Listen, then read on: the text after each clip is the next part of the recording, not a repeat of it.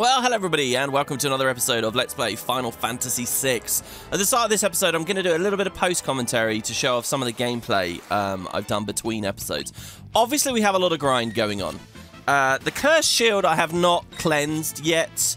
Um, I've read that a really good place to do it, again, is on the Solitary Island, because those things just kill themselves, so you just stand there. But apparently it could take up to three hours grinding. Like, the more I've read about it, the more it sounds like just an insanely difficult thing to do, and it takes ages and ages and ages and ages and ages to break the curse.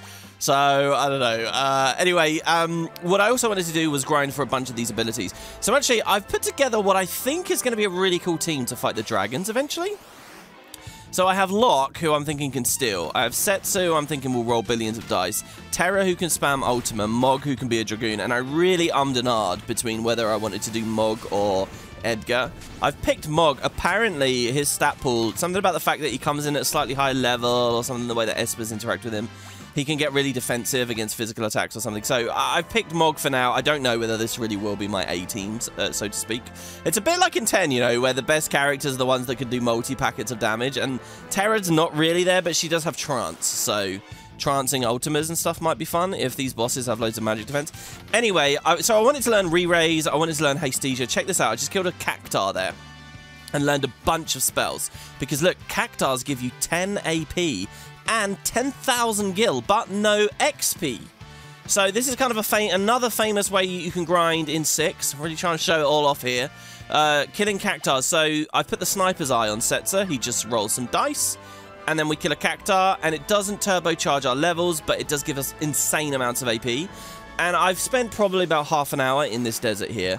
Oh yeah, and then there's these, the slagworms. They cast like sandstorm and blow your guys up. So these are really horrible, but if you find a cactuar, it's excellent. They only have like three health. And, um, you know, it's just a huge reward. Loads of gil. Not that I'm sure I really, really even know what I want to do the gil with anymore. Um, but I'll be able to throw it, actually. We're going to use Throw Gil on Shadow in a minute. So yeah, I did a lot of grinding for Hestesia, for Re-Raise, for Ultima, all the big badass new stuff. And uh, speaking of sandstorms, these deaths, Setzer was constantly dying. Listen to this sound effect for Re-Raise. Uh, sorry, Arise, the 100% heal. It's super cool, right? I've never really heard that before. I'm so used to the nostalgic sound effects of the other thing, so I thought I'd show that off because it's a different sound effect out of combat. But um, yeah, so if you look at this list, wow, that's a lot of stars, right? Actually, learning the early ones was really easy. I specifically didn't give them Alexander Bahamut because other people are learning those. But Quetzalli for Hestesia, Phoenix for Re-Raise, Ragnarok for Ultima, those are like the big, really important ones, and I wanted each character to have them so that no matter whose turn goes first, I can Hestesia the team. Then there's Cait Sith, so I started learning this because, you know, while some people were grinding the harder ones, other people went to the easy ones. So I made sure to give Cait Sith to all these guys as well, so they all have Imp. And I've been thinking for a while now that I want to go back to those Tonberries in a box. Well, now that we have Ultima, which is a big recommended way of fighting them, and we can put Imp on everyone, I'm going to go and fight those in this episode. Um, so yeah. Oh, also here I'm checking. I just talked about uh, throw Gil. Uh, I was looking at Setzer and thinking about his unique item because obviously he has the fixed dice, but that's just a weapon. What about a unique relic relic for him? And remember we got this like a while ago now, the Hades Jit. And if you see down here at the bottom here, it says that this changes the Gil, um, the slot command to Gil Toss, an exotic weapon from a foreign land.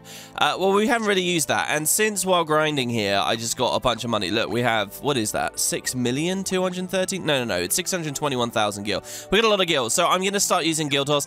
I'll use the animation like once or twice. At the end of the day, you spend money to do a bit of damage, like this armor ignoring or whatever, but, you know, we're rolling the dice anyway, and it does so much more. Just a little bit, again, of the weird balance. Also, in this game, you don't key in specific amounts of gil, which is a bit of a shame. So I want to kill the Tonberries in a box at the start of this episode. The other thing I want to do here is to fight the Zone Eater and actually kill it.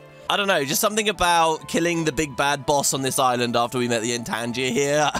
I feel like I want to do. Uh, obviously, we're in a time limit if we go for this, um, but I assumed it was possible because he's just going to be inhaling us like real fast. So here's what I go for. Um, Hestesia on the team, and look at all these spells that we have to actually mouse through now. It's absolutely crazy. It's a shame because you'd think on a remaster support release for the PC or whatever, they could expand stuff like this. Like basic UI improvements doesn't take away from the nostalgia or anything like that. Um, and in that way, I'm pretty disappointed by this remaster, to be honest. So I go for a re-raise there, but it doesn't matter because re-raise won't save you if you're being ejected from the battle which is quite ironic since this is the first time we're actually trying to cast it. The re-raise animation, by the way, is just like it is in the later games. It's the angels, the golden angels that come down like next to you. So there you go. Here's Ultima, our first ever Ultima cast. Looks pretty badass. Very similar. I mean, Gau kind of ruins a lot of this stuff, though, because he's already done so many amazing spells. And uh, he died in one Ultima, so he's not even that tanky, really. He gets this really insane, massive, like, long boss death animation. Well, there you go. Uh, just for my own satisfaction, killing the Zone Eater there. And yes, he swallowed a couple of us and we killed it. Did that mean we ultimate our own friends and they're gone for good? No, no, no. They just pop back up into play. So that's one thing. The next thing is heading to Narshe and finding the Tonberries in a box, which is a huge long walk, so I'm just going to cut it out. So here we are, uh, and I believe on I struggled to find this door again. It's because it's surrounded by the holes in the floor or whatever. Tonberry box. So remember, we're supposed to get great loot out of this, right? This is three Tonberries at once. Plan here, though, as I mentioned before, is they're all vulnerable to Imp. So, uh, the first person to get a turn here is Locke, which is good. Locke actually doesn't do that much damage at the moment. He's easily the weakest character on this team, but I'm kind of saying it's okay because he steals sometimes too. Um, you know, with the Thief's Knife, but the Thief's Knife does almost nothing, and everything's so evasive. So anyway, they go for some basic attacks. We manage to survive. We get a Hastesia up. Then I go, I throw a re-raise out. Now, doing that on Terra when she could Ultima instead is maybe a questionable decision. Um, but I want at least one re-raise. So remember the mechanic here is these guys, like, they cast Traveler on you. Uh, like, they counter with that, which just does absolutely crazy damage. And they're slowly advancing on you. And if they hit you with a knife, they do obscene damage as well. Um, but here, so everybody has Imp. So Mog can Imp. And you see how long it takes me to mouse around and actually find the damn thing. I really feel like these bottom, you know, they've got like the black orbs and then the white orbs. These grey ones at the bottom, I wish they were green or something. Anyway, so there's an imp on a Tonberry, and there's another imp. And this is cool, because what other reason have we had to use imp as we played through here? And suddenly they're missing with all their attacks. It says no effect. Setzer gets a dodge there. There's his Gil Toss, by the way, his command, you can see. Um, and so now we can just go ham, really. So I execute a jump with Mog. I go with an Ultima. And to be honest, after how quickly the Zone Eater just died and how squishy stuff seems to be in the world of balance, sorry, the world of Ruin, uh, I was kind of thinking to myself, oh, uh, do you think one Ultima is going to finish these off and this was really excessive? Like, we're overpowered now. By the way, our levels haven't gone up that much. We're now in, like, the mid to high 40s. So we're climbing up a bit, you know. We're nearing 50s, and then after that 60s, and then 70s, and we can fight the dragons. I don't know. but people do very low level runs. I'm thinking we're going to fight those dragons at a very low level. Oh, by the way, so there you can see we hit uh, they hit Locke and did a bomber damage. So they can still bite back, and they survive the Ultima. So this does seem like a very difficult fight. Look at all the turns that they're getting. And if they were able to just execute their normal stuff and they weren't imps right now, it would be horrifying. Mog low rolled on his jumps there. I'm sure he only got two procs. But there, another Ultima. They de-imp, they die. Mo oh yeah, I didn't fully learn, learn, the last spell. It was just so much grind, guys. But there you go. Mog learned a rise out of that last 5 AP. And it said no items, no XP, no gil, no items. It says it's empty. Well, hold on. I thought we were supposed to get good stuff from these fights. So here's a really weird fit, and I was frustrated by this. When I looked at my items immediately later, though, I did find there's this now. The Valiant Knife, a knife that grows in power as its wielder's HP dwindles. I think we probably got that from the Tonberries. Now, that's attack 1.145. Uh, Believe it or not, Locke already got a better knife than that. That was the Man-Eater. Okay, so we can dual wield these, which is what I'm going to do, but the Man-Eater is 146, ever so slightly better. So it was kind of a lame reward, really. The Man-Eater is a very special thing that I read about when I was looking into Gau stuff a couple of episodes back. Um, the Man-Eater does obscene damage if you're fighting like a humanoid. Um, and the weird thing there is if you rage Gau into a humanoid and then friendly fire attack him with a man-eater, you will get the damage buff, but why would you ever do that? so there you go. So I'm going to use the man-eater and this new Tonberry knife together. Um, just so the Locke has a little bit of damage. And that's our reward, I guess, for this monster in a box. I'm happy to have opened it and completed this little bit of the game. But there you have it. So for one final thing, now this really is where things get quite interesting. Um, the other thing I've kind of had on my notes that I want to do at the start of a lot of these episodes is Shadow. Remember, we can sleep in the inns and just get a little bit more of his story. So that's what I'm going to do next to sort of cap off this opening montage thing. And uh, this I thought would be very small. You know, I almost thought it wouldn't have been too much of a loss to the LP to not have seen these, but I thought, you know, let's do everything. So um, I'm really glad I did because, wow, there was a lot to unravel here. It's live commentary, so I'll pass you over. I'm just going to go to an inn. So this is actually the inn at Maranda, right near where I was grinding for the cactuars. I think it was Maranda uh, in that desert. And I slept in the bed like five times and nothing happened. So I didn't think it was going to proc. I didn't even have my mic near me. Oh, we got it. We got it. Baram says, Yahoo! We did it, Clyde. Nice. So that, were they just on the ghost train? A million gil. What a blast. This is the life. So they're thieves. They're partners in crime, right? Guess it's time we thought of a name, huh? A name, says Clyde. I really wish we could get this design for him, man. Uh, all good bandit duos need a name. I uh, sort of have one in mind.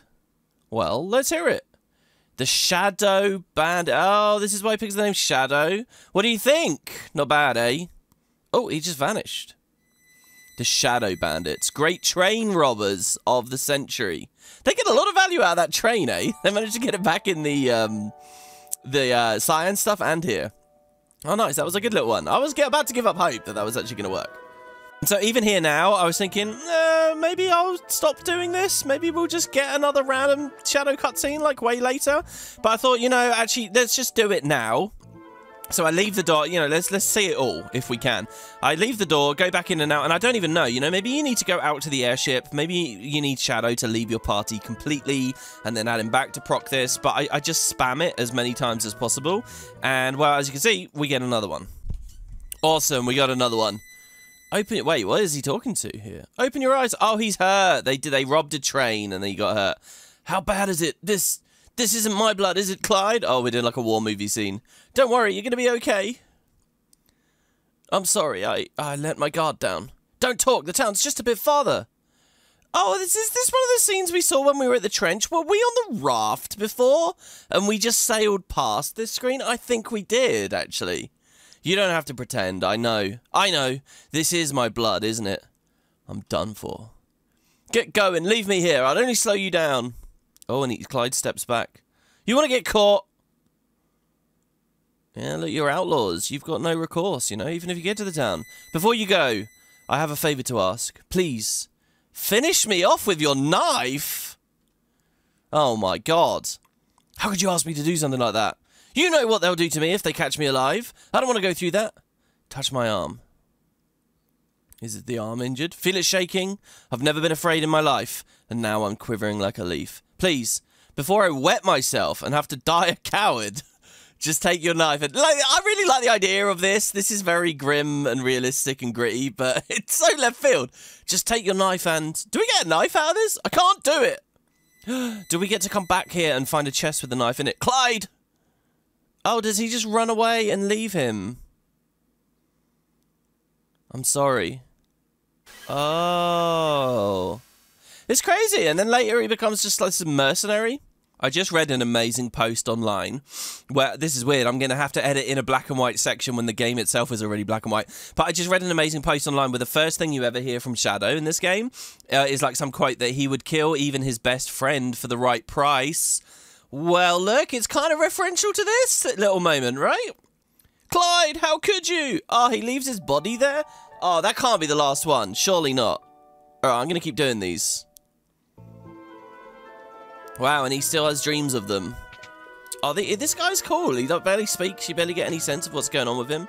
And yet his entire backstory is in his own mind. None of these other players in the party learn any of this, you know? He's just haunted by it.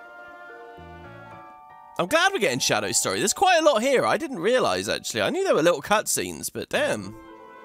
I guess the fact it's not a playable dungeon or, like, sequence with battles makes it seem like this is le of lesser note to the others.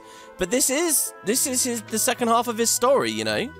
This is better than Locke's, for example. Locke is just opening chests in Narshe. Oh, here we go. Wow, it, is it every three?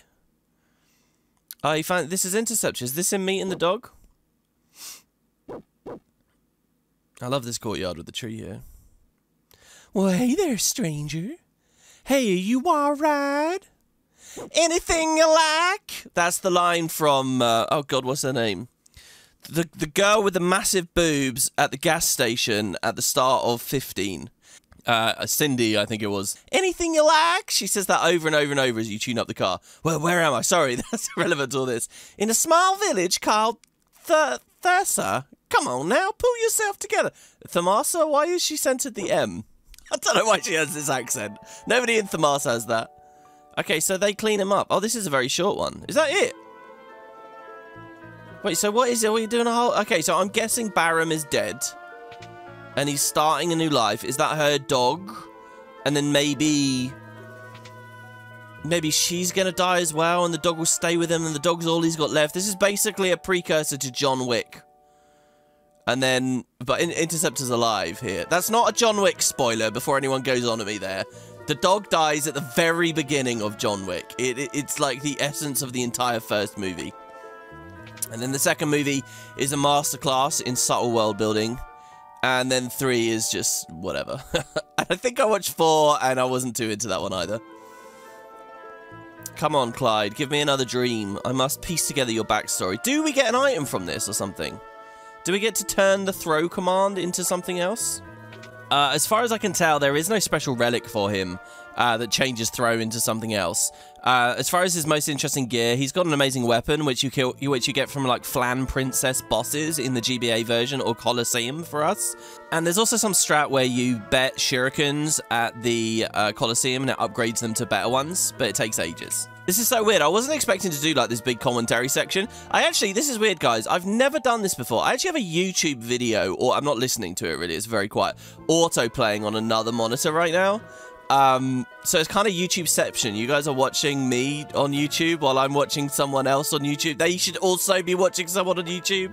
That's why, but it's because there's a new uh, a new setting in OBS, which means it will. Uh, you could have done this in the past, but it was a, a lot trickier. It will capture just the audio from the one app, which uh, is pretty handy. But uh, yeah, ah, come on, we need another one. It's definitely not every three. Maybe we just got lucky before.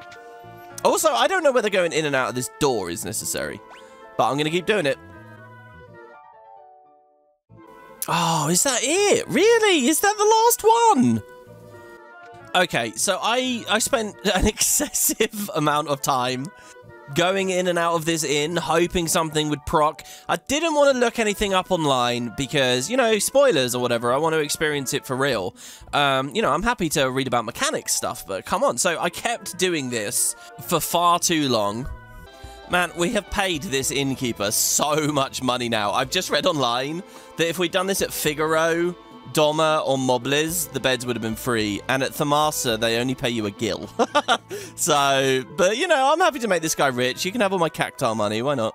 Until finally I gave up and properly read about it, and uh, woo, there's a lot to say. Okay, so I'm going to keep running in and out of this bed here. I have just read a bomb of information online. A bomb. There's there's there's too much trivia here. Okay. You know how if Shadow died, I told you that Relm gets the dog, that Relm ends up in the cave?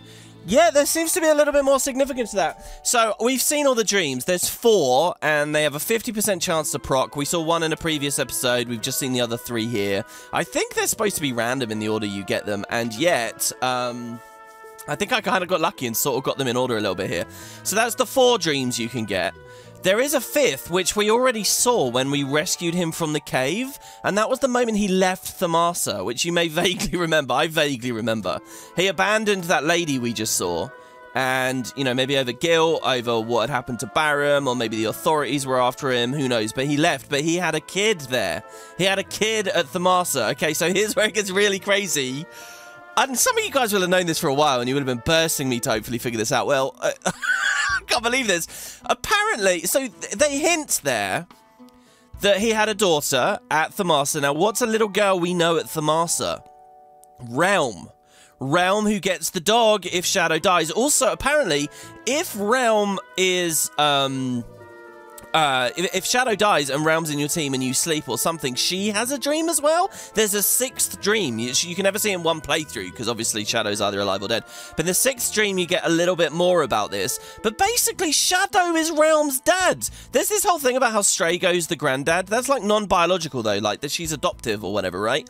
Stray, uh, Shadow really does seem to be her dad. Now, they don't fully spell it out for you. Um, if we look in the inventory here, right, we can equip a relic to Shadow, right?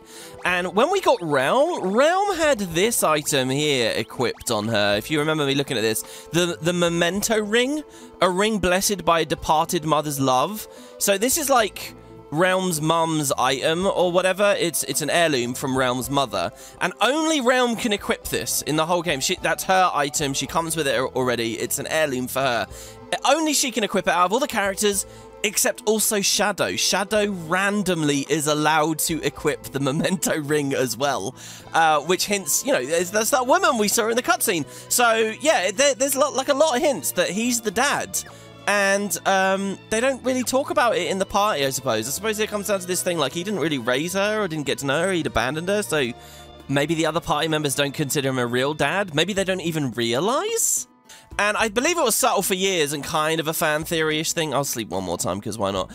Um, but in an outside interview, like the game director or whatever did say, yeah, he's the dad. And again, in the Game Boy Advance version, they change one of the cutscenes. I think he's going to generically talk to us about family at some point near the end of the game. In the Game Boy Advance version, he specifically talks about his daughter. Also, talking about cut content in the game, uh, the devs confirmed they had an idea for a scene where Strago was talking to Shadow. Those two characters we don't usually see interact. But, you know, Strago has a vested interest in Relm, and the idea is they're at a bar, and Strago no wants to know, is it Clyde really under there? Because Shadow's always wearing a mask. So he gets him to take the mask off and reveal who he really is. But uh, none of that was added in the end. And maybe for a good reason, because you, if they just do a random little scene like that, and then continue to have Shadow hiding with a mask on instead of talking to his daughter, that comes across as a bit weird. Including that one scene would have necess necessitated a lot more other scenes properly finishing this story off. Also, in the PlayStation edition of this, they added like some cutscene on the ghost train sequence where you're first with Shadow and all these ghosts are haunting the guys. And for apparently like one frame, there's a picture of Relm there when it's Shadow, you know, haunting Shadow, which again is like that. That's his kid. Oh, also, there's a huge theory out there that Baram, the guy Shadow abandoned, that's Kefka that he survives somehow and then, you know, goes on to become Kefka in the future, which is also an amazing theory. Actually, to me, talking about cut content, it sort of feels like this is an unfinished plot point in a lot of ways. Like, they don't resolve the Relm stuff, but uh, um, Baram just being left there, doesn't it kind of feel like, you know, here in the world of Ruin, we should get a quest to go find out what happened to him, find out he turned into a monster or a monster's hunting him or something. Um, but none of that was ever actually added. So, wow, Shadow is Relm's uh, dad, and it's really hidden. and I just learned about that, like looking it up because the last, what I thought might be the last cutscene wouldn't proc. Wow, you really have to investigate and look at that. That is that is awesome. Uh, very, very, very cool. And I guess that means we've seen all the Shadow stuff, actually. Um, I saw a bit of discussion just now as well. of People saying it's a bad ending because he abandons the kid and all that kind of stuff. I don't know. It depends how it's delivered. I, I really don't think this game is actually sophisticated enough to do stories like that well. Like, it's very ambiguous, I guess, and they just, they're very hands-off. Uh, it's not bad. You know, what was actively bad is like at the end of Lost with the whole Jin and Sun thing, but, you know, Anyway, uh, so there you go. So that's Shadow stuff, and uh, Jesus, wow. Um, I guess let's get on to the next thing. I wonder what I want to do. Oh boy. Well, wasn't this a section? Okay, so for the next adventure, I thought well, let's look at Metamorph. Obviously, we got the Ragnarok uh, Esper in the previous part. It has this really weird ability where it casts Metamorphosis that turns enemies into items. And I thought, well, let's experiment with this. Let's play with this, uh, see what it's all about. So I read uh, various piece of information online. There's a pretty good Steam guide about this, listing out how it works, the best kind of items you can get around the world from using this. Two of which I'm going to go for here.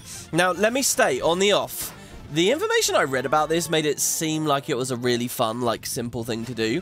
But it's actually, like, brutal. Uh, I don't recommend using this Esper for gathering items. This was a colossal waste of time. If you can help it in any other way, don't do this. Why do none of the guides or information online easily talk about just how slow this is? This is crazy. So I did a lot of encounters for this, and I guess the lucky thing about this, at least, uh, the silver lining is...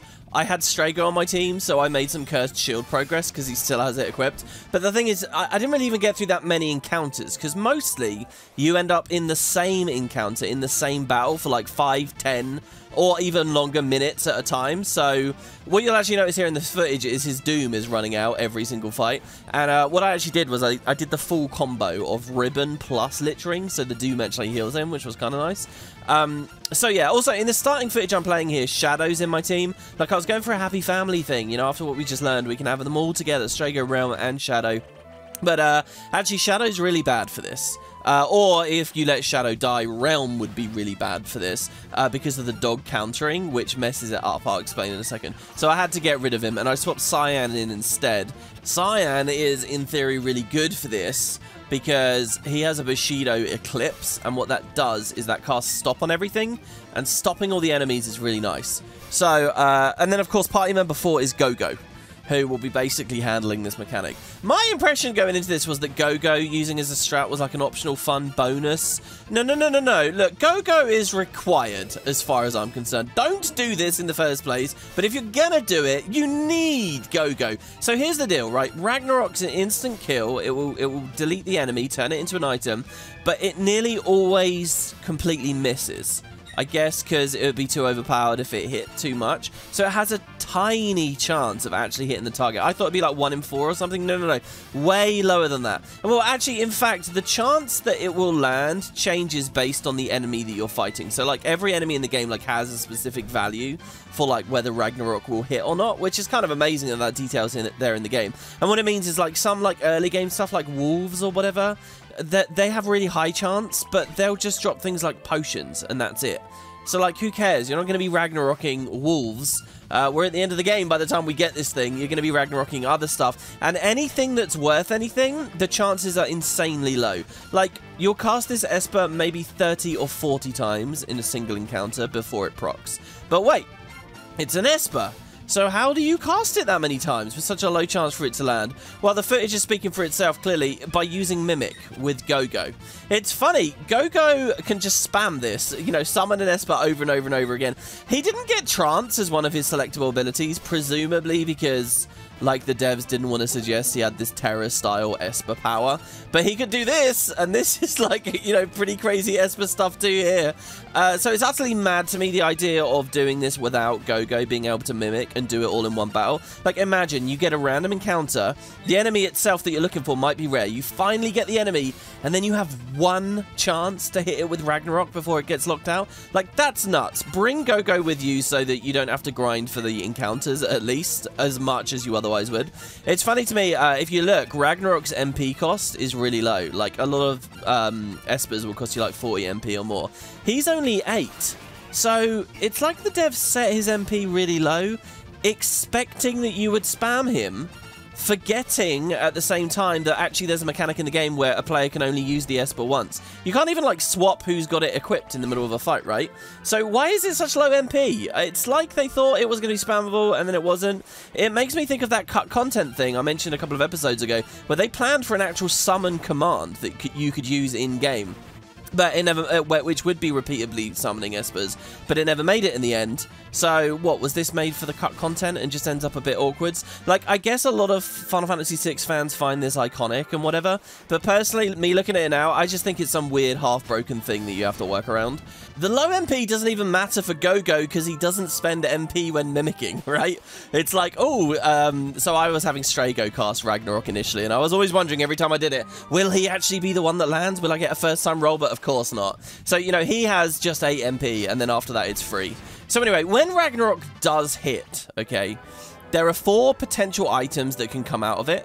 It's basically determined by like a family of enemies. So like all birds of a certain type, I guess, that they'll they'll like drop potions mostly, but you have a one in quarter chance out of their four potential items, they probably have a good one, right? They're a special item. And so for these birds that you see I'm grinding and trying here, that special item is a growth egg. So I'm going, which is the double XP thing we did the crazy puzzle for. You can get a bunch of growth eggs and then, you know, level everyone up really fast. So I thought this would be a fun thing to at least show off. And at least the birds aren't too rare. You can get them just outside Kohlingen in the World of Ruin. So that's kind of what I'm going for here. Another example, like with the family thing, most metal-themed enemies, they have a chance to turn into like mithril stuff. Mithril equipment is really weak for where we are now but you know you could go for it if, if you like I guess. You know some enemies will drop gold items. So basically get in a fight spam the shit out of Ragnarok hope it lands and then when it finally does pray that you get the right item or do it all again. Find the random encounter again and go again.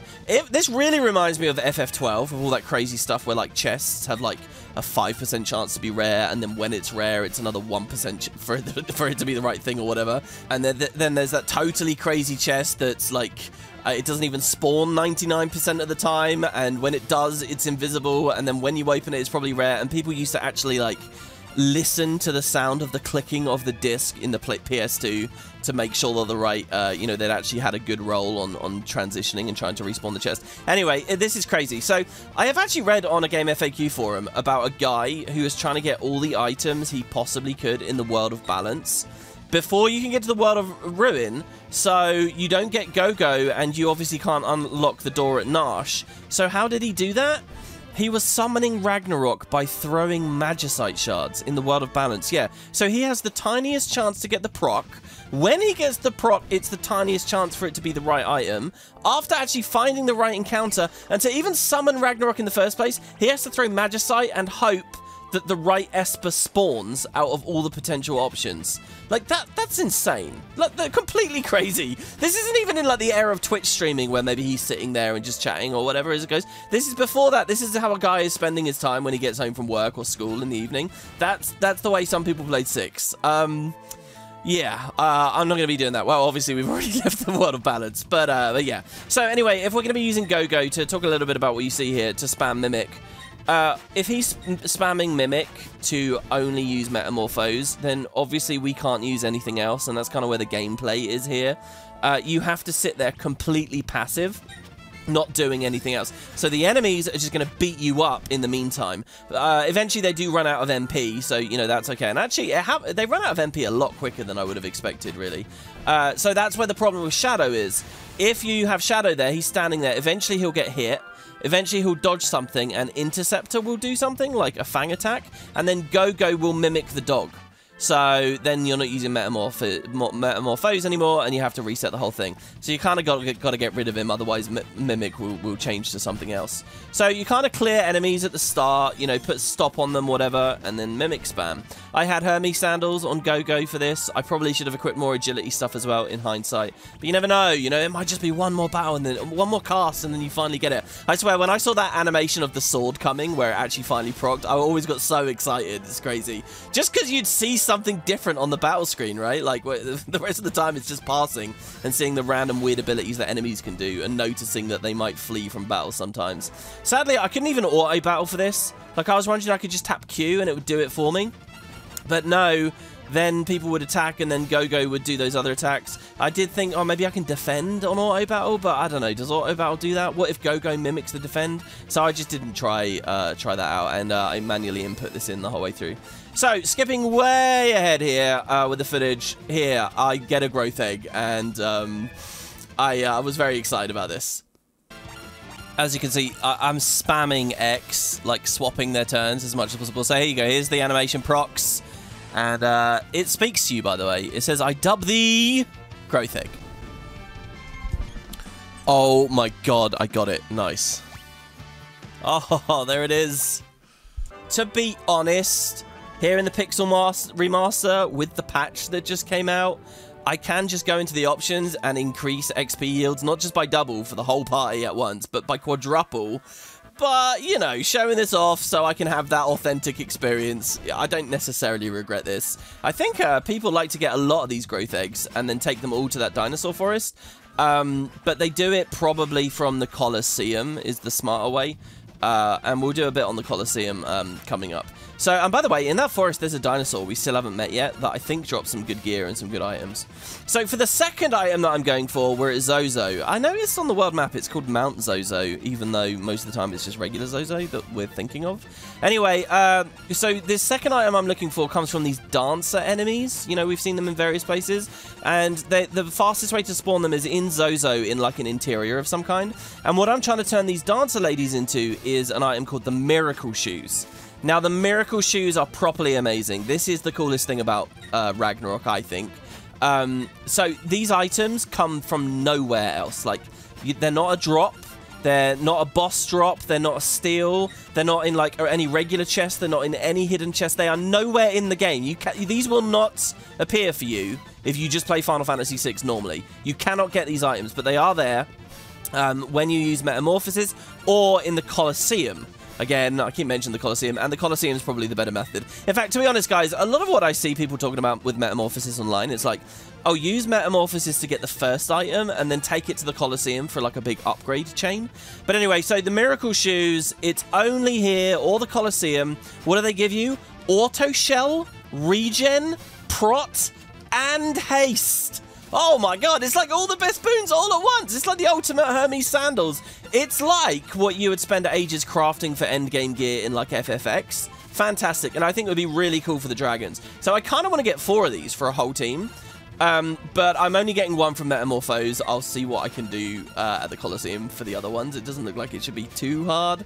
Uh, and so there you go. So that's my idea. Um, as far as a bit of trivia for some other stuff, you can get ribbons as well. Like if you, so these dancers, right? But do you remember there's just ladies out there in the world, just women that you fight sometimes like that model? That family, if you use it on those, you can get ribbons off of them. And I guess that kind of makes sense thematically. It seems like the devs really did do a theme, you know, birds dropping eggs, the ladies dropping ribbons. Um, and obviously ribbons are good.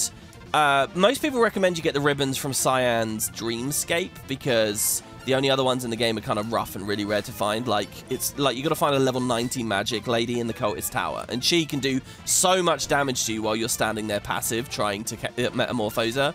So, uh, you know, that's like one of the things people say. Go to the dreamscape, and don't leave until you've got a bunch of ribbons, but I can't imagine anything more boring uh, just standing around there spamming uh, this. I mean, maybe the rates are slightly higher, higher in there, I don't know. And the other thing is elixirs and mega elixirs, which are in very short supply in the game.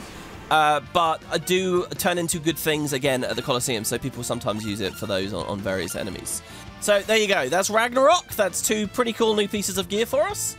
Believe it or not, this video, uh, my plan was just for this to be a, a, little opening montage of a couple of little things. Uh, my main idea of what I want to do in this video is go to the final dungeon. I think I mentioned that at the end of the last one. So let's jump in and uh, head there at long last and find the Master Scroll. I'm quite excited to see this. Oh my god, that was only 13 minutes. Wow, much better. Do I go for another pair? Mm, I think I'll do one more pair, maybe. Yeah, I tried grinding for like another 20 minutes on a second pair, couldn't find it, so Colosseum the other ones.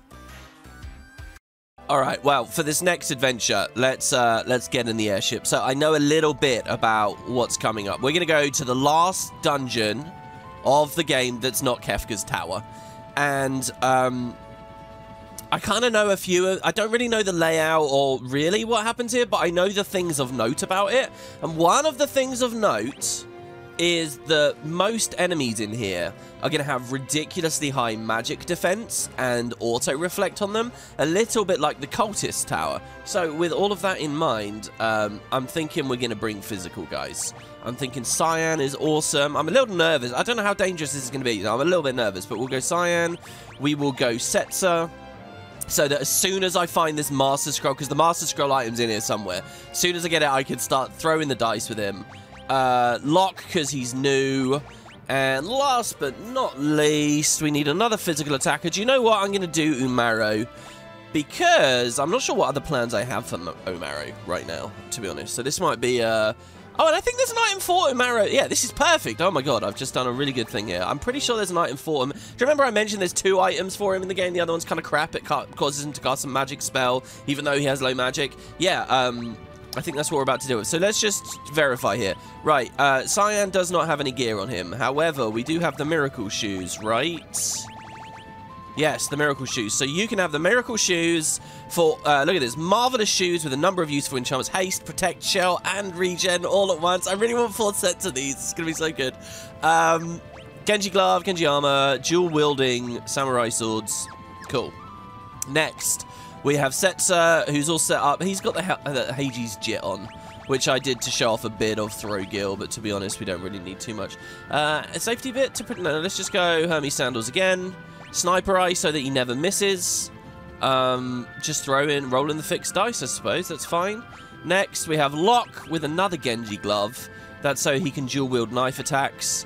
And a Hyper Wrist, which is boosting his strength. But again, if we're going for a big haste setup, mind you, that was my last my last one, right, wasn't it? Yeah, okay. And then finally, for this adventure, we have Umaro with an auto reflect ring that I probably want to take off. That was from the Cultist Tower. Let's give him I don't know. Let's give him our new growth egg, I guess, so he gets to a nice high. No, let's give him the protect ring. Auto protect seems pretty good. I don't know whether there's going to be much physical attacking going on. But yeah, alright, so with all of that said, where is this dungeon? Because if you look at the world map, we've we've been everywhere. I mean, really everywhere now. So where is it? Well, we need to go, and I like this. We, have saved for the last. We're returning to Figaro Castle where the hell did I park the castle? what, a, what a sentence that is. Where the hell did I park it? Was it in one of these deserts? That's not Figaro. Is this cave Figaro? I, you know what? I could actually just check on the queue menu here. Since we're struggling to land anyway. Let's see. Figaro. Figaro Castle. Ah, it's up there. Of course. I was looking for a desert and I thought that these trees might be it. But no, no, no. Okay, so we're all the way over here. There we go. So we park the castle here. We can't land on the desert, can we? Or am I thinking of Seven? Yeah, we can't land on the uh, the desert. I've actually been watching a friend play Seven the past little while, and it's wild. He's modded the hell out of the game, like completely modded it to a ridiculous level. Um, and you know, it's because this new part of the 7 remakes come out. Actually, one of you guys, what's funny is before the Cataclysm, it's funny, that's the word Guild Wars used, and it's actually the word that they use in this game as well. Before the Cataclysm, a year ago, one of you guys left a comment uh, on one of these videos saying, um, you know, we were talking slightly about FF16 and whether it would be good. And I said at the time I wasn't excited about 16 because a lot of their recent projects had kind of flubbed and not really been too excited to be. One of you guys dropped a message saying, oh, no, no, I think there are lots of reasons to be excited about it. Um, I would be very curious to hear your take on that now, kind sir, uh, because 16's obviously come out in the meantime. Okay, what we need to do, right, is... Oh, crap, I've just realised uh, I do want a specific party member here. Hold on.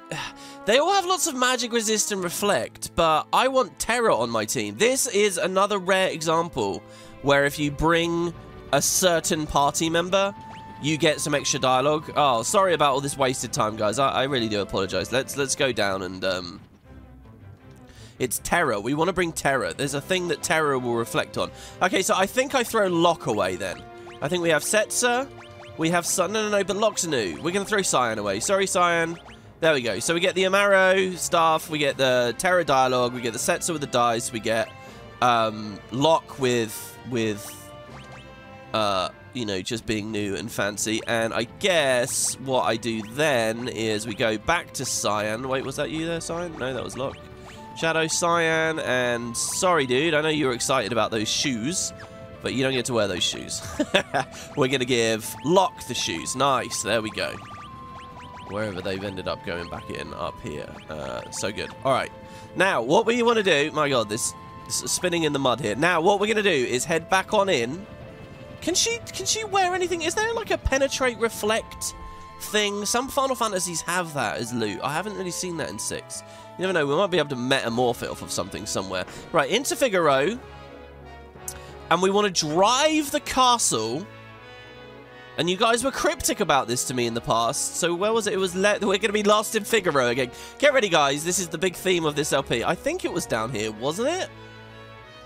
one of these areas where we're going to drive the castle. Not there. Oh, we're going to leave the castle. and um, hopefully something will happen. I think maybe we have a chance for it to proc. Let me just try going downstairs straight away. And I feel like left was... Yeah, here we go. Here we go. Okay, so I'm going to say go to Figaro. And he's going to pull the lever. And we get the cool animation. So I remember the way to the driver. And, oh, is, is this done it here, maybe?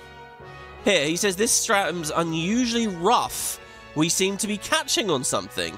And I might have got this message first time we did this in the World of Ruin. I really don't know. So we can choose to restart the engines, or we can just say stop here. And I'm going to say stop here, okay? And they don't really give you any indication anything's happened, but you guys left me a comment.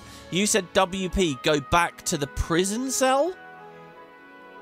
Oh, God and are we got to find that now. and, you know, we were talking about this thing where it felt like there was something extra to do in the prison cells. Like maybe maybe we were going to lock Kefka up in there or something. Didn't someone suggest Kefka because you should be in these cells or something? So this is pretty hidden, I have to say, because, like... Well, this is just the straight-up engine room. This is where we fought the boss and all that, isn't it? And then we had a billion chests. Oh my god, so good. In fact, how are we doing with chests here? 9 out of 9, 1 out of 1? Do you know what, guys? I'm very near that achievement. I wonder, when we get all the chests in this place we're about to go to, and when we get all the chests in the final dungeon, will I get it? Did I get all the chests in the World of Balance? Was there like one little missable thing somewhere? I mean, probably, right? But damn, we're close. We, we, we might have a good shot at it. Okay, I'm probably going to cut. Do I cut? This is the question. Do you know what? Maybe I speed it up. So you can see my my wobbling around, wobbling, I was going to say roaming around, my wobbling around the castle. I think I've checked all these rooms in all these areas. I don't think this is the prison section until I get there. And that way you don't have to wait forever. So I'll see you guys in a second. Maybe it's... I'm thinking maybe it's past the engine guy down here. Or up these stairs and down on the other side. Alright, okay, seriously, seriously, stop speaking. Let, I'll see you guys in a second. Oh, there you go. See, it's here. Okay, I think this is where we need to be. Yeah. Yeah, and this guy says, I think we all know who really deserves to be locked up in here. So, check it out. That's weird that he actually stood here face down like he was guarding it. This door is now open. I mean, how subtle is this? This is so subtle. Uh, the door is open.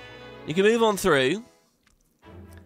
And there's there's a dungeon here attached to the castle. Now, if I hit Q and we switch maps, it doesn't appear anywhere on the overworld map. But this is it. We are now in... It's, it's kind of a double dungeon, I guess. We're in the cave to the ancient castle. Ah, so I kind of like the idea of this, you know, this thing of Figaro moving and that. What if someone else had a castle that could move? That's a cool idea, isn't it? And, well, I guess that's the, the point. So, six chests, six items, and I am now completely blind. I have no idea what's going to happen. Let's see what we've got. Well, this is a dead... Oh, no, it's not a dead end. Okay. It's so hard to move up there. Once again, the uh, game completely messing with my perspective here. So we've got a chest here. Now, I think some of these might be monsters in boxes. Okay, no, that's a high ether. the good loot is from monsters in boxes. So naturally, I'm terrified. Figaro, lizard, and a devil. All right, let's roll some dice at that. Let's attack this one. Oh, God. Do I dare randomly cast black magic? I'm going to just test the waters with a fire. Oh, well, they're dying. Okay, no, they both have reflect. So what the hell is Terra gonna do? I guess she has to cast off of herself. Maybe I give her the Reflect Ring then? And then I just bounce spells into them. And then Locke there, we going for this. Umaro. Oh my god, big roll. Oh, so good. Oh, this team's awesome. Look at all the buffs we have and everything as well. Oh my god, so good. Okay, right. Terra, you are going to want... Oh, this means giving up the, the, the double earrings. But, you know, there's nothing for it. Right. Uh, reflect Ring. So whenever I cue Black Magic, it's going to be just on her. And what this essentially means is I'm not going to have a choice anymore as to who I target. Because I can't AoE, because that would mean everyone needs on Reflect on my team. And I'm not going to do that. So I can only single target and it will just hit something random. So, uh, also, you'll notice here, check it out. She's basically got everything. She hasn't got Bahamut, I suppose. So, I guess we do Bahamut. What I was actually thinking here now at this point, because she has Ultima, right? Oh my god, can I reflect Ultima off of myself? I don't think so. Does Ultima penetrate reflect? Um, Like, I don't really need to do this. This is kind of better for MP or whatever. But there's actually an item I'll be going for very soon, which will give us... I can't remember I already mentioned this, but the dinosaurs, that the, there's an extra dinosaur in the dinosaur forest we haven't fought yet, and they drop like 1 MP cost relics, and I really want them. I think you can do stuff at the Colosseum for them as well, which will mean we can just spam the hell, we can like double cast spam ultimas and shit, right? Uh, for now, I don't know. What I was thinking of doing is just picking a an Esper for her that gives her magic on level up. At level up, that's that's HP. So who is it? Maybe maybe Valigarmanda's surely magic. There you go, magic plus two. So I'm going to put it back onto that. And for the first time, really, in a major way, we're actually going to be like grinding the correct stat on the correct character as we play. I mean, is it grinding when you're first time in a dungeon? I'm so nervous of these boxes. Here we go. A wing edge. Wing edge. Let's see what that does. I should stop going to the equip menu for that stuff. I should just scroll down. Oh, it's another boomerang. It's our second wing, wing edge. Oh, yeah! Hold on, I was going to put double boomerangs on, wasn't I? Oh my god, dual wielding boomerangs. That's a much cooler idea for Locke. Hell yeah. Okay, very happy with that. Right, so we've got three doors. Two chests done already, three doors. I guess we'll go left to right. That's my instinct. Oh god, and there's another place to the left. There's another chest there. To get to that, we're going to have to go downstairs. Oh, I love this lighting effect here as we walk through this. I guess that's been used in the game quite a lot, but it looks really prominent here. A Death Tarot. Okay, so this um, is another Setzer weapon. Uh, they're basically, I think, um, I think they actually work like darts. Obviously, it's got the, it's, they're tarot cards, right? And it's got the card icon, so maybe not. I, I really thought they were going to be like darts. Let's just equip them. They're not going to be as good, but we'll try them out. I guess in a way these are supposed to be really good. I mean, they're not his final item, but they're probably like his penultimate or whatever. Attack plus 187, and they may cast death upon striking an enemy. That's kind of a cool idea for like a card throwing weapon, because when I think of tarot cards, I always think of death. Uh, you know, like, oh, you got death, but it's not bad. It just means change. Ooh. You know, I've got a story. When I was growing up, um, one of my parents was really into, like, psychic and magic stuff for a little while, like in the idea. But basically, I think doing it on behalf of one of my nans who was much more superstitious. Anyway, we used to go to. Um, oh god, where should what should we do here? Oh, we're gonna cast Blizzaga, I guess, on ourselves, and then maybe hit the Yuno. That thing looks crazy, by the way. Um, and I'll always remember we went to like one of these weird. I, I basically think they're all fraudsters as an adult. But we went to this uh, convention place. Yeah, that looked like a dart, didn't it? He did the spin and the throw. That was so cool. And uh, they they would do like tarot card readings for you if you like. And I remember we were waiting to go do one. You know, just sort of like a fun afternoon hour. and uh, the person before us ran out screaming and crying, and clearly had been told. Um, is the fight over? Okay, good. Oh my god, I've read multiple times on the wiki that there's like bugs and ways for fights to just go on forever, and I was really scared with that auto death effect there. Yeah, the person before us just went like screaming and crying, running out early. I guess because they'd been told, you know, like, oh, someone you care about will be harmed soon. Ooh. And these people were taking it really seriously, and um, yeah, I don't know. That's the story, I guess, but that will always stick out in my mind. I like all these animations here. The double boomerangs is fucking awesome. The uh, the new darts is awesome. Umaro's just kind of slamming away there, you know. Terra's doing what she can to work around this. This is actually kind of cool, you know. I could have, like, meta-gamed it and not took any spellcasters, but doing it this way, we get a bit of story and we get to see a bit more of the mechanics, so that's quite nice. Um, now, how the hell do I get up to the middle door? You can't get up to the middle door. And the left door was just a dead end, right? I'm not a fool for coming back through here. What is the idea of these things? I'm really... I, the thing that sucks here is I can't press Q to auto-battle, because if I do that, it will proc her spell just on, on the enemy, I think, and I think that'll be a bad idea.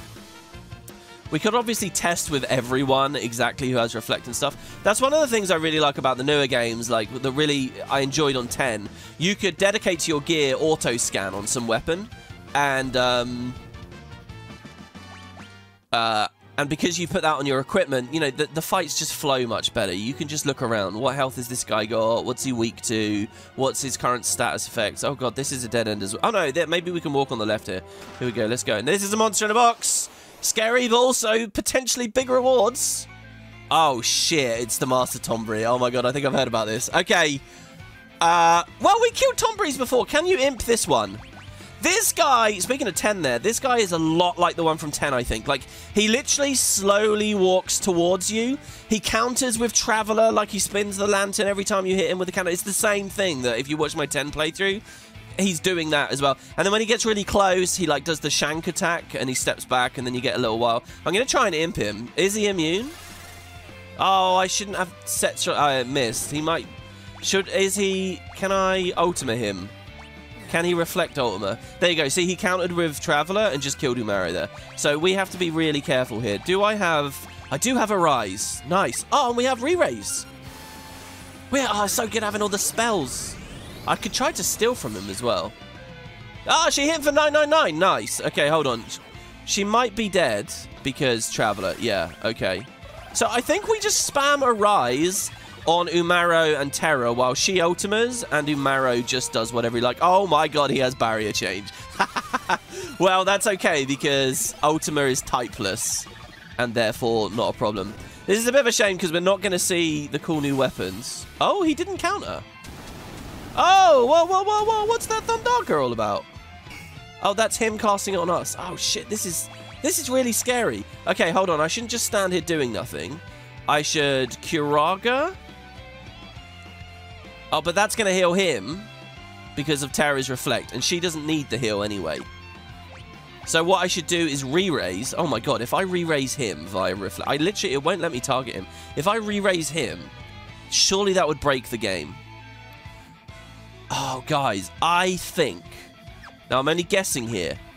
I think you're not allowed to target him with re-raise because, like, the devs don't want you casting it on bosses that have scripted death effects and stuff, like it would break things.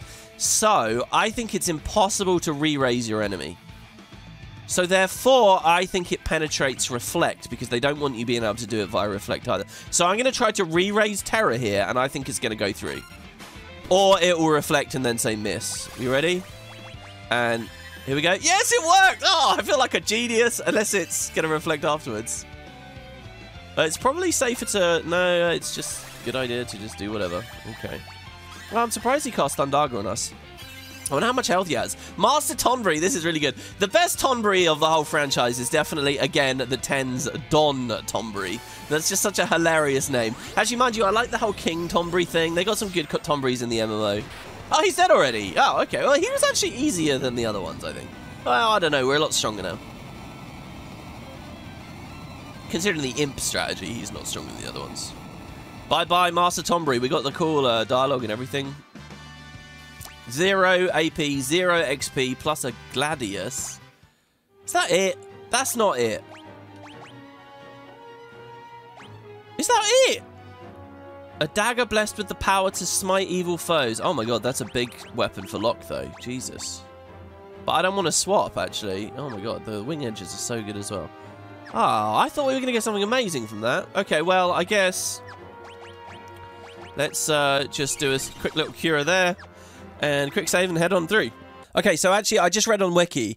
The Gladius is a kind of cool item. It is the strongest dagger. The only one in the game is dropped by this Master Tonberry, or, get this, the only other way to get one of these is to bet the ultimate weapon at the Colosseum. That's how exclusive it is. It does holy damage, so, you know, it's got that perk, but it is ultimately outclassed by the better, like, character-specific weapons. So, you know, it's nice to have in our inventory. I doubt I'll use it much. Okay, please tell me this is the way. Yeah, okay, there is. Right, and then this will be the middle door, which will get us nothing. There wasn't even a chest here. Absolutely nothing there. That's weird. And you know what? The door animation is so cool. We haven't really seen that for a long time, have we? They're nearly always doing this door with the weird circles that I said. Uh, uh, some of the doors in Little Big Adventure are a little bit like that as well. Okay, so I guess just same thing again here. Let's head up a... Uh, well, no, do you know what? I'm going to see. If I ultimate them, will it just penetrate? I don't want to blow up all of our MP if we're going to have a crazy boss fight soon. Yeah, I think that's just going to go... Oh, it did barely any damage. Oh, no. It did like a little hit and then a big hit. Weird. Alright, Setzer learned Poisoner. We're going to keep an eye on like if people are maxing stuff out. So Setzer's finished that now. So he can go for... Wait, why does it say... No one's on Valigarmanda. Terra should be on Valigarmanda. Did I mess that up somehow? Huh, did I not actually assign it? That's crazy. Alright, well, whatever. I love, by the way, that Terra is my first one that has learned all the Espers, basically. And she's half Esper. It's a good little, uh, good little thing. I definitely planned for that, everybody. Alright, let's do Bahamut, I guess, for Setzer. I don't think we're ever going to be casting Flare with him, but, you know. Oh, I, I just realised they put Flare on Bahamut, whose iconic move is Mega Flare. Oh my god, I didn't realise that's very cool as well. All right, so we can go left here. So we've now explored quite a lot. It's uh, like a long winding path.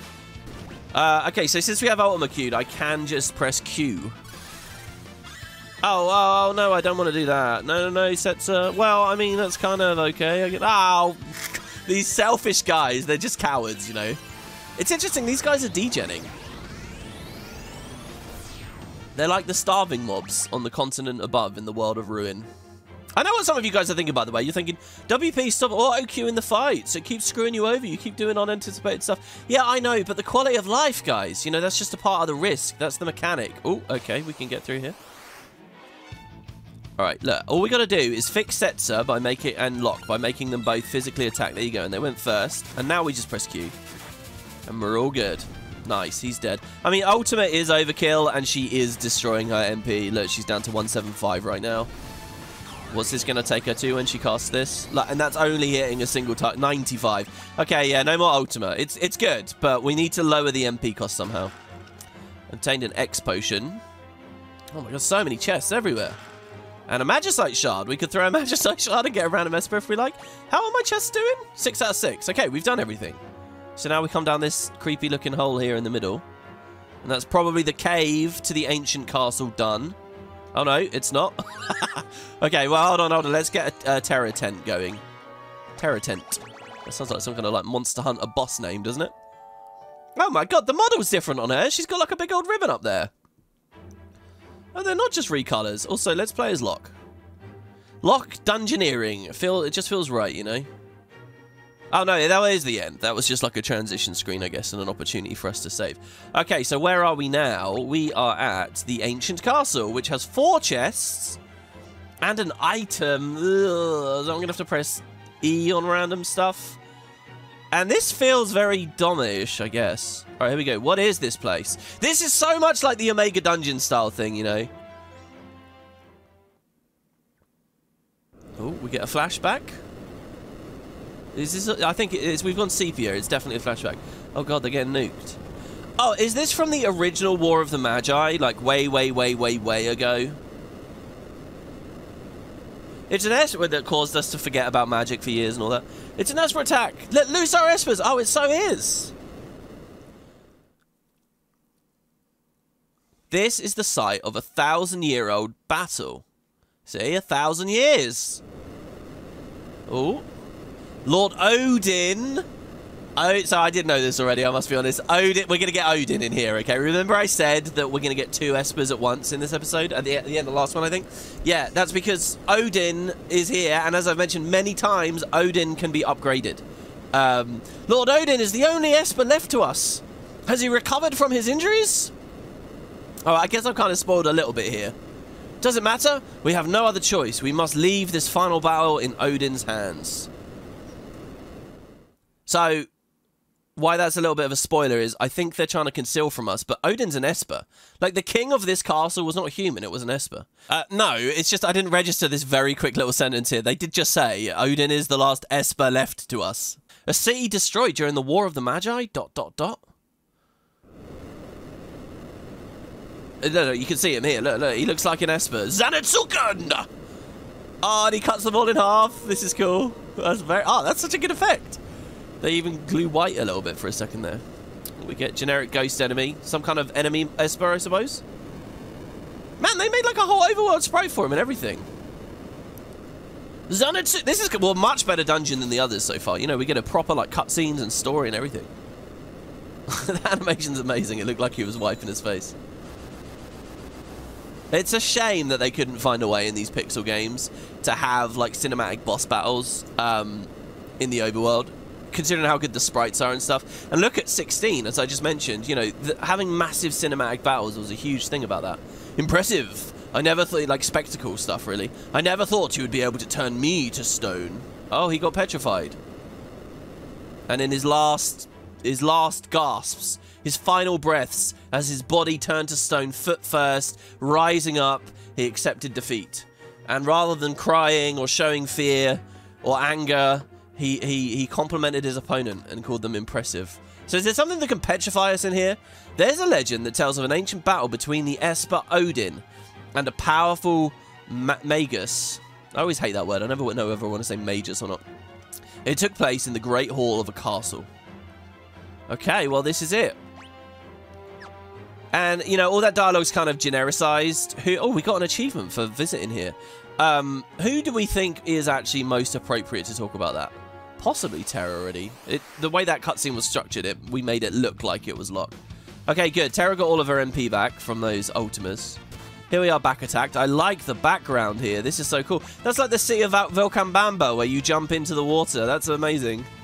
We've got pipes and things and stuff in the background, so it's a little bit techie. Okay, we'll throw the boomerangs. We'll throw some fixed dice. And to be honest, I think it's over, isn't it? I don't even need to do anything. Yeah, look at all these auto-death effects, and these things aren't undead, so it's actually working. Man, I would have thought that auto-death would not be very good at this point, and, like, stop would be better. As I was talking about before, but no. Okay, so I will try the right-hand door first, and there's a chest. And we get the Punisher. What is the Punisher? The Punisher is um, a, a rod. A rod that draws MP from its wielder to deal critical hits. Maybe something fun for Strago or Relm? Finally, we have a rod that's not the holy rod, but I think the optimize button will continue to put it on. You know, it's weird. They made a lot of gear exempt from the optimize button in this game. Um, but they didn't with the holy rod. To me, it seems like is the one thing that they really should have. Okay, let's go with an attack. So look, there's a samurai there, a Suriander, and Coco. This is this is one of the women. If we, if you um, metamorphize them, you got a chance to get a ribbon. But I think they're supposed to be quite dangerous. Here again, I'm just gonna wait with Terra because I don't know. Oh my god, he crit! Wow, Umaro. He's going ham here. All right, let's go leftmost now. I'm basically just trying to work my way toward the door. We get another chest. How many was it again? Four chests. Oh, monster in a box. Potentially something good. The Samurai Soul. Okay, there's a lot of trivia about this guy. Are we already dead with that crazy AoE there? Oh, no, no, no. That's barely any damage. So, yeah, um, I've got it paused here, obviously, with Steel. There's a lot of trivia about this guy.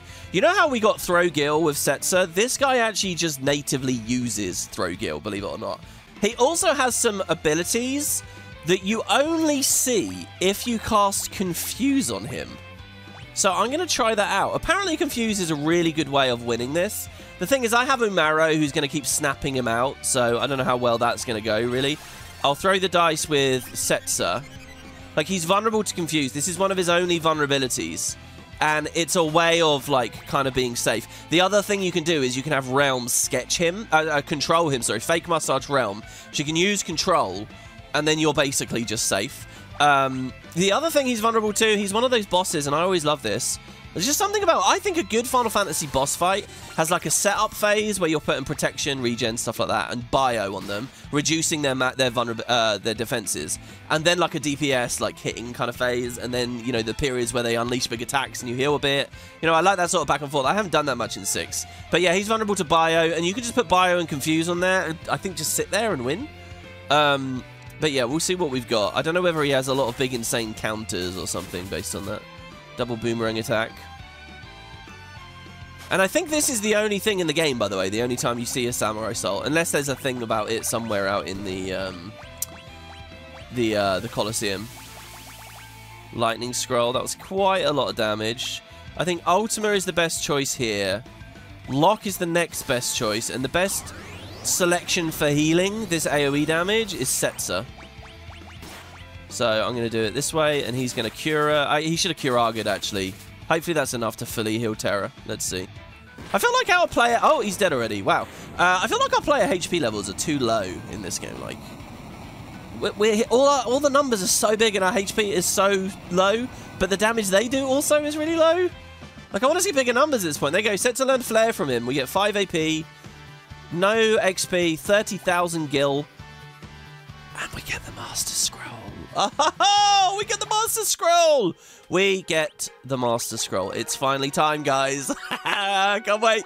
All right, do we get rid of the Sniper's Eye or the Hermes Sandals?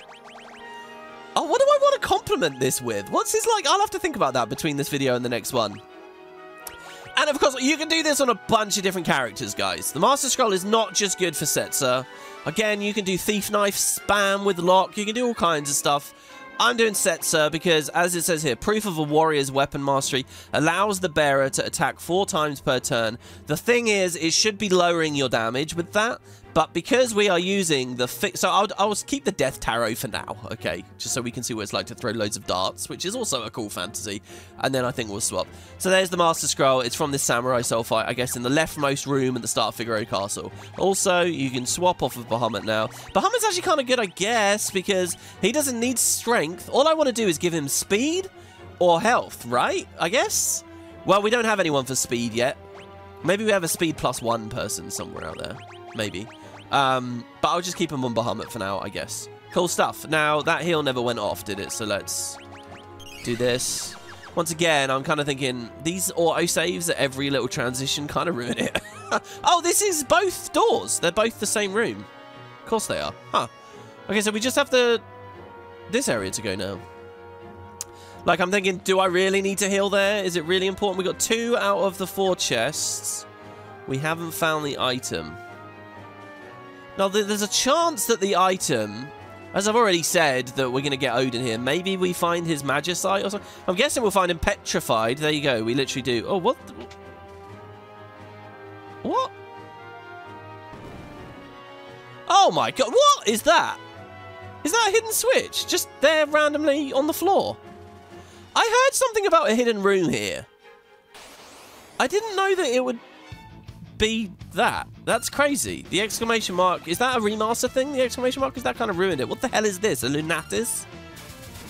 All right, here we go. Go Setzer. Yeah, two boomerangs. Pretty cool. So, yeah, obviously the other thing is if you dual wield and then you do the Master Scroll, you get eight attacks, right? Oh, that's probably what I want to do. How do we get a second fixed dice, though? Doesn't he only have the one fixed dice? What's going on?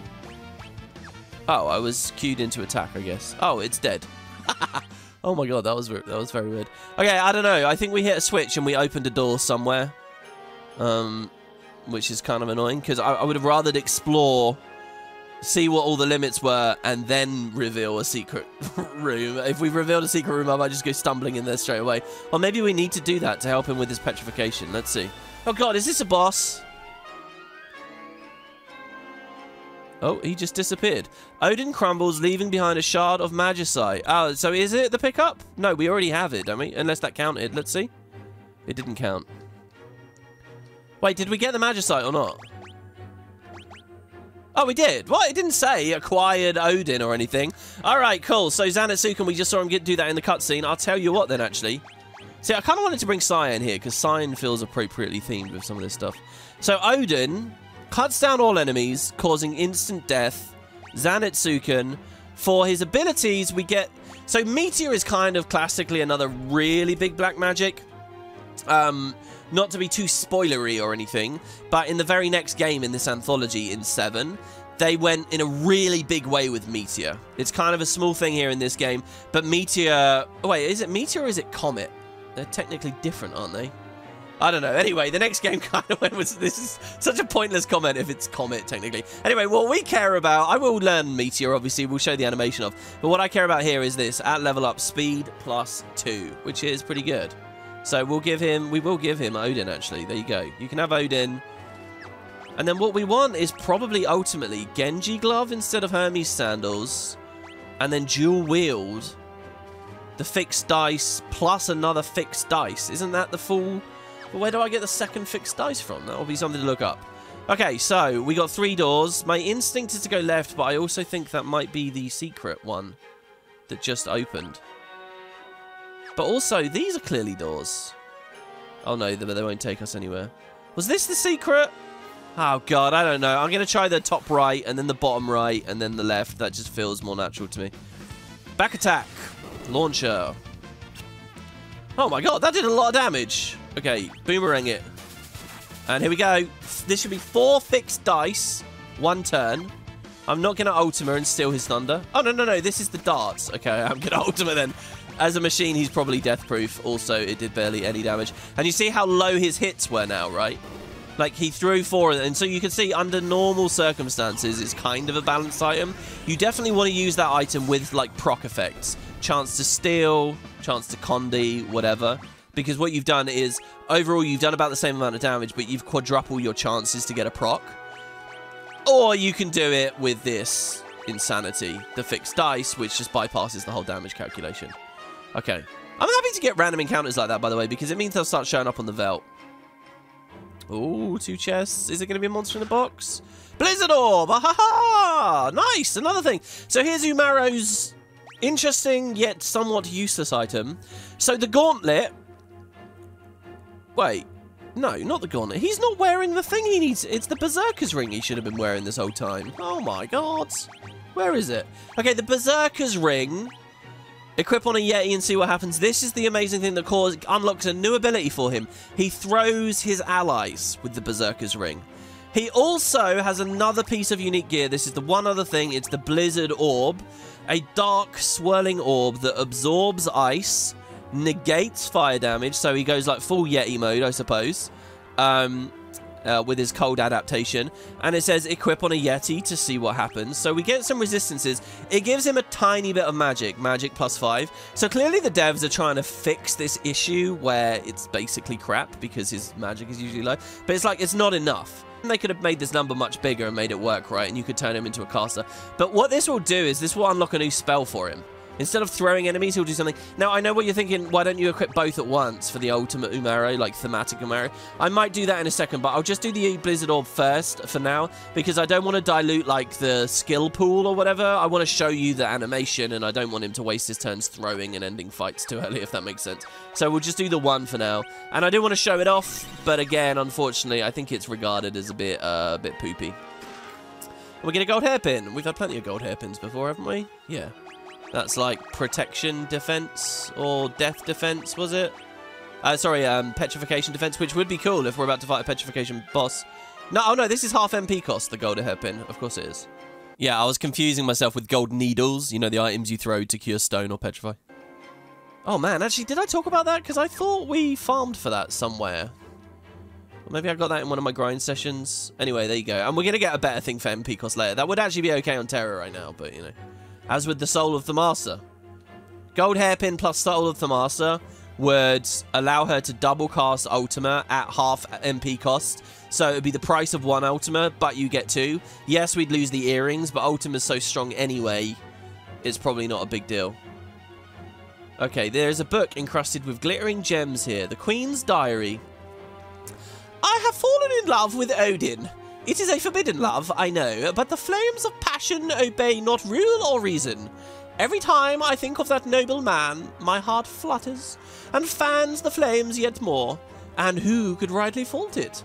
When the fighting ends, I shall tell him. I must. So this is a woman, this is the queen, who is in love with an Esper. Okay? So this is another cross-human uh, Esper interspecies romance. Interspecies, is that the right word? I mean, look at them. The Espers are insane. Oh, we got to summon Odin, by the way, in a fight and actually see him. Um, so this is a lot like Terra's heritage, and I think, yeah, because she's in our party here, we get this. Here you go. This is the. This is it. Love between a human and an Esper. There you go. I mean, you're getting all the details here in this LP. so that's like a hidden little extra thing. Um, for what it's worth, sometimes you get dialogue when people aren't there but have been recruited nonetheless. Like, remember when we got Gau? I think a lot of people could contribute to that. They didn't even have to be in the party. They just needed to be, you know, on the airship at least. Uh, but yeah, so there you go. So that's Terra, and she seems sad or reflecting on it in some way. Is that the, the, the secret switch down there? So let's go the other way. And let's get in a fight so I fight Odin. Sorry, let's so I summon Odin. Here we go. This Lunatis isn't going to know what's hit him. Oh, we're going to be quick, though, because Umaro... No! Umaro! No! Oh. oh, is it still alive? Odin. Here we go. Zanetsuken! And he's riding the horse, the Dark Knight on the horse. He's so cool. I think he's an awesome... Uh, in the MMO, they were like really late with Odin and it's really easy to miss his quest and they didn't really do too much with him. I mean, he has special designation for being easily missed, I guess, but damn.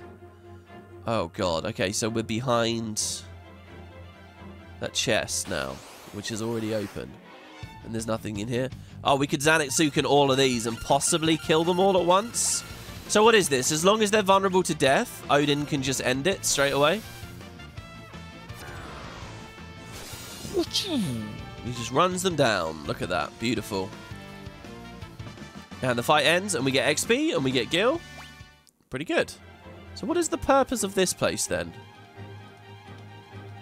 I don't know. Nothing, I guess? Just to throw us off?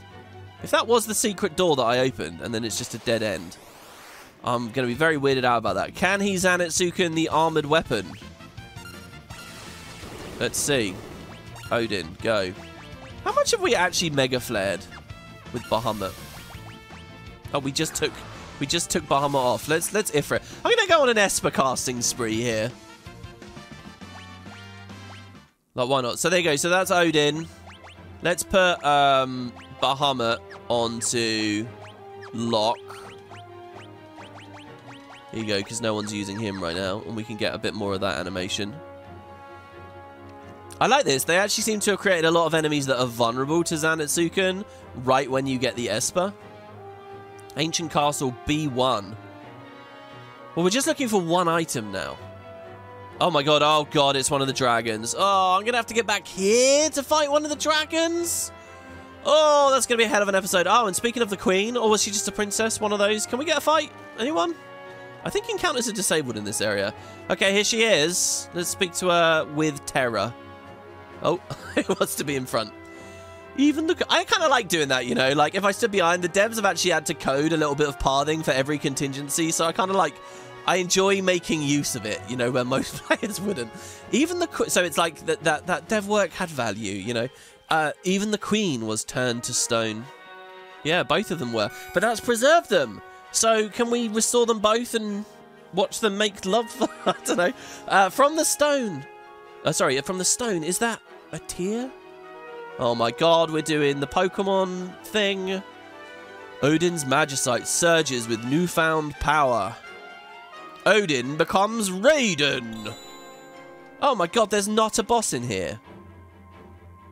I can't believe that. There's not actually a boss. What? I thought we were going to have some kind of big old fight. I mean, there's that boss. Should I try to kill that dragon? Do you think I can do it? I wonder what element it is. I'm now realizing that one looks like Spyro again. Maybe they don't have too many colors for the overworld, even though there are actually lots in the thing. Should we try and fight that dragon? Uh, hold on, hold on. Before I get too distracted here. Um, right, yeah, so we just upgraded Odin. So the, the, the game here, okay, is Odin was there. And um, I guess you're supposed... It's supposed to be like a mega secret that switch, which I just stumbled on and found there.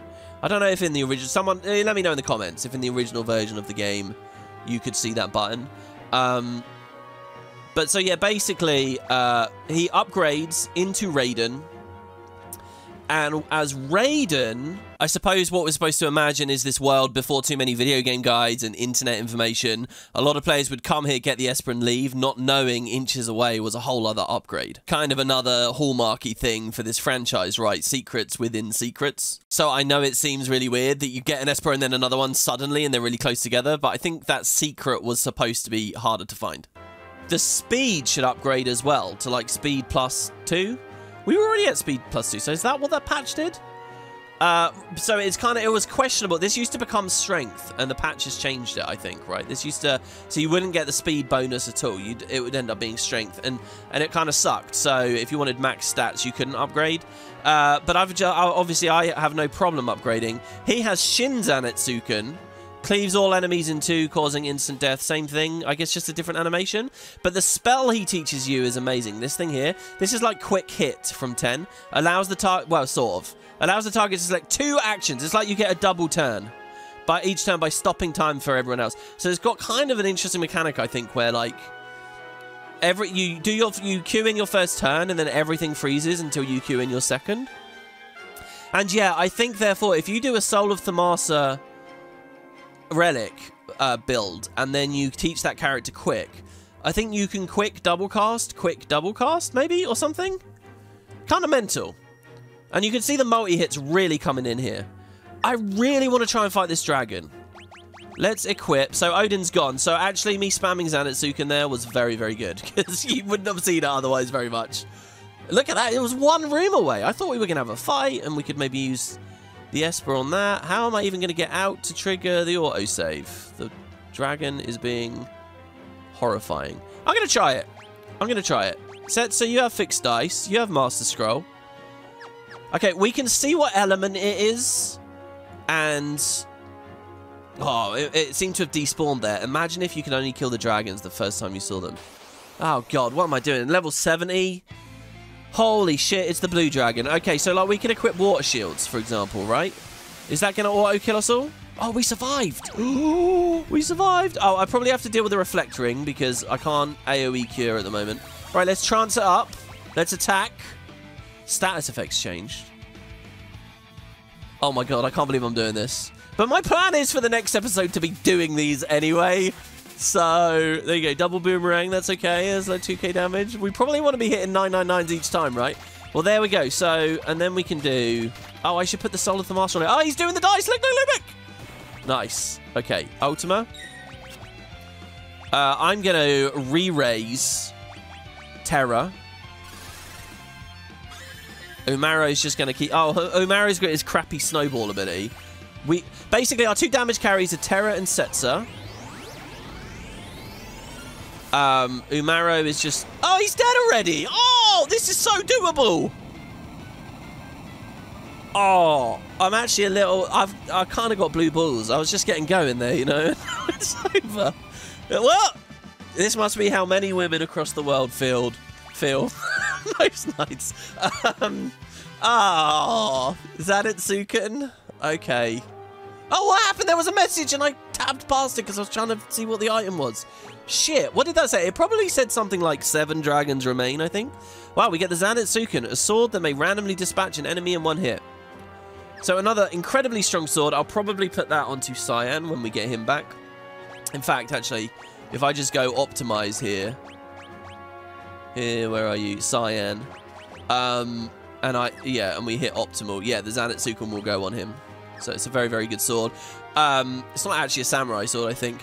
The uh, the game, though, obviously, is you can get the the ultimate, uh, not the ultimate weapon. Well, yes, you can get the ultimate weapon, but you can get the um, the uh, the Lightbringer and, and the Ragnarok sword and all that stuff, uh, which would be better as far as the best sword. Anyway, so cool. Um, that's it, I think. Wow. Oh my god, we killed the dragon. I sh probably should have been killing them as I was going now, actually. Well, maybe not. Maybe not.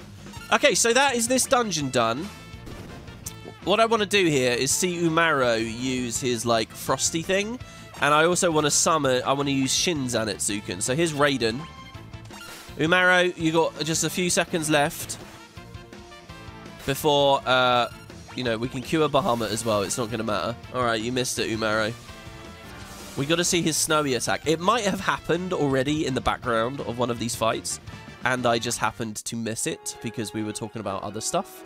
Yeah, it did actually. One of the earliest fights right after I equipped it, if you caught it, he has already snowstormed. It took all the willpower in the world for me here in editing not to immediately edit in one of these sections and point it out, but hey, it's back there somewhere. And that would be a little bit of a shame, but you know. Right, you gonna cast it this time? I didn't even really appreciate the animation there. Was it the same? Diffractive laser. Oh my god, oh my god, we're dying. Okay, uh, Terra, do you want to just kill him, please?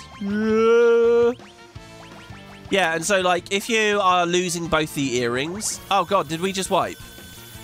Oh my god, the armored weapon more deadly than the ultimate weapon. Uh, I think I have to flee. Okay.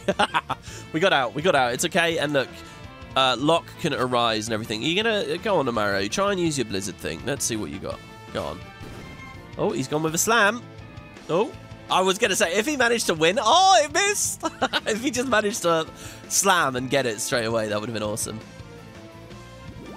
Diffractive laser again. and you're dead. But he did a he did a good bit of surviving there. All right, we're out. So abilities, Locke. You know how when we booted back to the screen there, we were still playing as Terra, even though she's dead? It would have been cool if there was a little bit of code in there, which is that if the player is dead in the party, you can't walk around as them on the overworld, and it would, you know, it should have snapped us to Locke there, because Locke was the one that fled and stayed alive. Okay, let's just wait and see Umaro, and uh, in the meantime, get another Shin Zanetsuken going. Oh my god, these things are really deadly.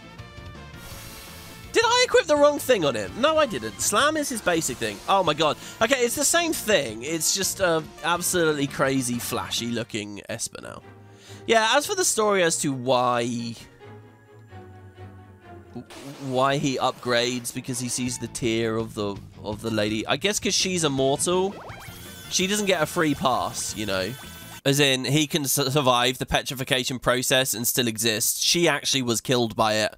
And now, I don't know what, he cries and becomes a new kind of knight. Again, I feel like there might be some sort of cultural story here. Some established idea of a knight turning from one thing to another. I don't know. But this whole Odin upgrading thing is done in multiple Final Fantasies, as I mentioned before. And yeah, watching this back, it really feels like we probably could have had a boss fight against the big creature that did all of this to them. No? And yet we didn't. Was it cut out? Is that why it had no decent overworld sprite? They just went with the ghost in the end? Oh my god, this is kind of deadly. Oh, there you go. Snowstorm. There it is. Snowstorm. 2,000 damage. That's not as bad as I thought it was going to be.